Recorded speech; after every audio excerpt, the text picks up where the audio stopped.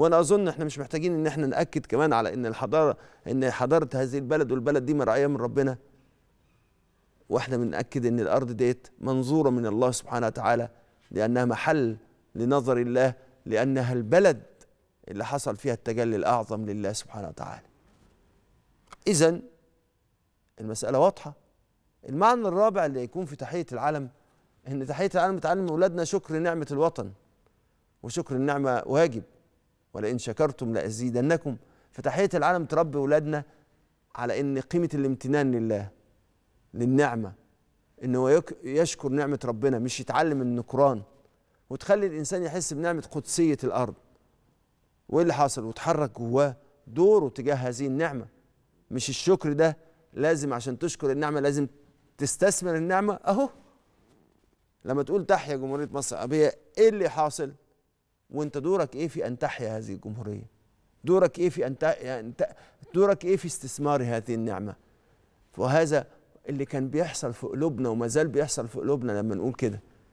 فيحرك في وجداننا إن إحنا نعم يا رب إحنا مشاركين في هذه النعمة. فيشكر النعمة ويحافظ عليها وإنه يخرج أجمل ما فيه ويعمر أرضه ويخدم ناسها ويفضل لآخر نفس من أنفاسه يعمل بقوله صلى الله عليه وآله وسلم. إذا قامت القيامة وفي يد أحدكم فسيلة فليغرسها المعنى الخامس. إن تحية العلم بترسم في الذهن معنى البطولة الحقيقية. الأولاد يترسم في ذهنهم كده وهم بيقولوا تحيا جمهورية مصر العربية العلم ده أنا أحميه. أنا رجل. فيتربى على الرجوله والشجاعة والمروءة والتعمير والحفاظ والسند. انه هو سند لهذه البلد. لكن البطوله مش تخريب مش تكفير مش الإحساس بأن أنت أنا خير منه مش إهدار للدم. فهنا يبقى تحية العلم ولذلك كان لازم كان لازم التدين الكمي. اسمحوا لي. لازم أقول لكم الحقيقة. في الأوقات دي لازم نقول الحقيقة. أنا بالنسبة لي التدين الكمي أنا بسميه التدين العميل. لاني للاسف الطيارات دي لما المحتل خرج ما سابش حكومات عميلة ولكن ترك طيارات عميلة. إيه اللي يخلي الطيارات دي طول الوقت على صلة مشبوهة بالاحتل المحتل وبكل حد بيحاول بقدر الإمكان ينال من هذا الوطن؟ إيه اللي بيخلي الطيارات دي ما بتظهرش غير والناس جاية بتنهض؟ إيه اللي يخلي الطيارات دي إن أي حد يحاول وإحنا بنتكلم عن 6 أكتوبر. لما تخلصوا من حد كان بيسعى لأعمار هذه البلد. أنا عايز أقول لكم حاجة. أنا طول الوقت وفي يوم من الأيام هكلمكم بصراحة وبكل التفصيل في دراساتي عن التدين الكمي. هقول لكم قد إيه إن الحقائق اللي مرصودة في التدين الكمي تخلينا نعرف التدين الكمي ده بيعمل حق مين؟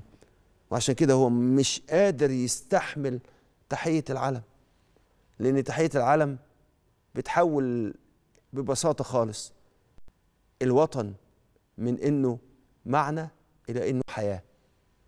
فهو مش عايز تحية العالم اللي بتخلي الوطن حياة. وعشان كده المعنى السادس إن باب الشهور بالجسد الواحد.